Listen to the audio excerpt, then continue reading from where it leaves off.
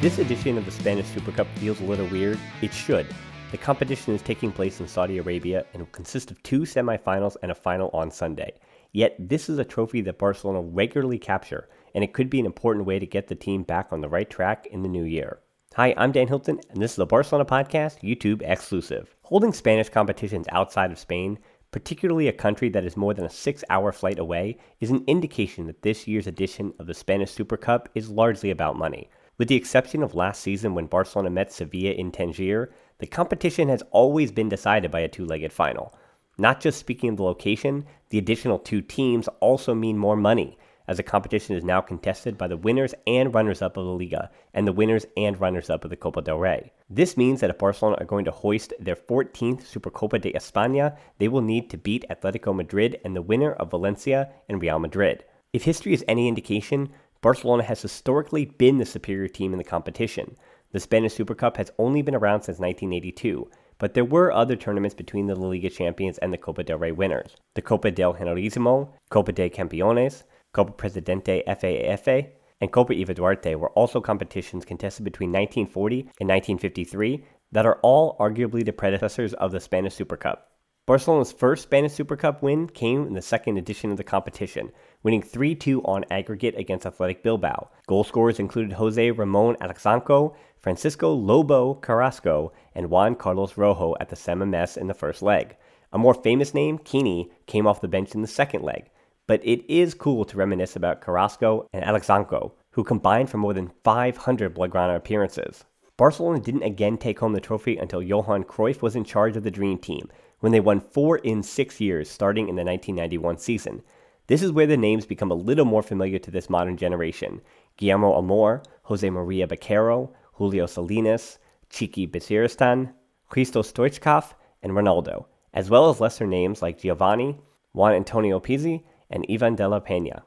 This is the list of the goal scorers in those four years, as Barcelona took home the 1991, 1992, 1994, and 1996 Spanish Super Cups. The club would need to wait nine seasons before they won the cup again in 2005, beating Real Betis 4 2 on aggregate. The 3 0 demolition in the first leg in Seville was enough, with goals by Ludovic Giuly, Samuel Eto'o, and Ronaldinho. Eto'o scored again in the second leg of the Camp Nou.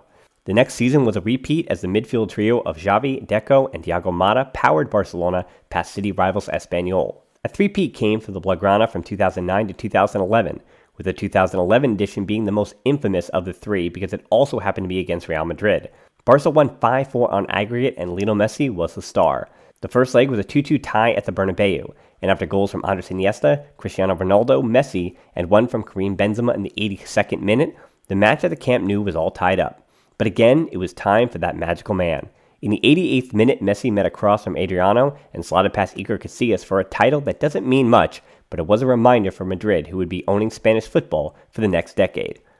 The title went to Barcelona again in 2013, 1 1 on away goals against Atletico Madrid, and 2016 in a 5 0 aggregate rout of Sevilla, with a 5 1 aggregate loss to Ernesto Valverde's Athletic Bilbao side sandwiched in between. Barcelona again took home the trophy last season for their 13th title, 2 1 winners over Sevilla in Morocco. The goals were scored by Gerard Piqué and Ousmane Dembele after Pablo Sarabia struck first for Sevilla in the ninth minute. Since Real Sociedad won the first Spanish Super Cup in 1982, their first and only, Barcelona has also been runners up 10 times. Real Madrid, meanwhile, has 10 titles and 5 runner ups. Other winners of the competition include three from Deportiva La Coruña, two from Atletico Madrid, two from Athletic Bilbao, and one from each of Sevilla, Valencia, Real Zaragoza, Mallorca, and Real Sociedad. Messi is the all-time goal scorer in the competition with 13 goals, followed by Raul, Stoichkov, and Begiristain. Interestingly enough, Begiristain won the competition five times with three different teams, the first with Real Sociedad, three with Barcelona, and one with Deportiva La Coruña. Barcelona win trophies, so the Spanish Super Cup doesn't mean nearly as much as the Champions League, La Liga, or even the Copa del Rey. In recent seasons, the Champions League is seemingly the only trophy that matters. But if Barcelona do capture their 14th Supercopa de España, maybe Kool-Aid should cherish it. Clubs that take trophies for granted usually wind up having a humbling period without them. Ask Manchester United or AC Milan. It's tough to end the video on a sour note, but let's be honest, that's the same note this started on. For much more hopeful content, Check out some of our other videos on this channel and don't forget to like and subscribe. Until next time, Forza Barca.